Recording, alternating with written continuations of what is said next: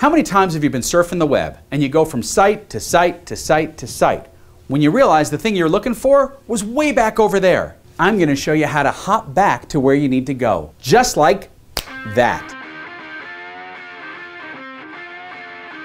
When you need to go back in your browser's recent history, forget the back, back, back, back, back, back, back, back. Okay, you get it. Forget the back button. Instead, click and hold.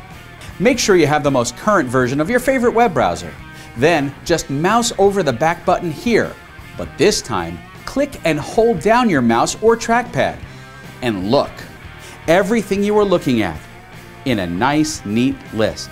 Now, simply mouse down to what you wanted and hyper jump back in time. But if you want to surf smarter, you should use tabs.